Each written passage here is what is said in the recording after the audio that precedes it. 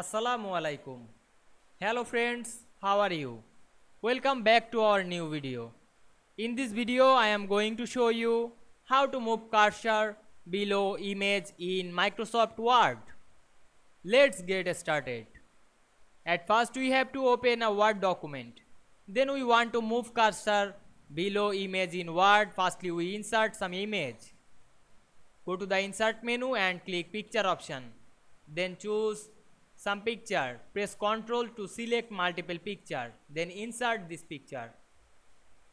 Now we can see here we insert two picture. We click the first picture and go to the format menu. Then click wrap text option and choose in front of text. Now we small this picture and click the picture then being sent back click the second picture then click wrap text option and choose in front of text.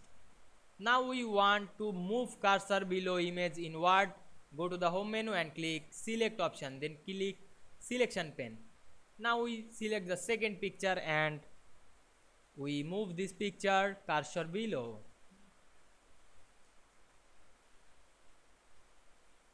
I hope you enjoyed the video. Please like, comment, share and subscribe my YouTube channel. Thanks for watching.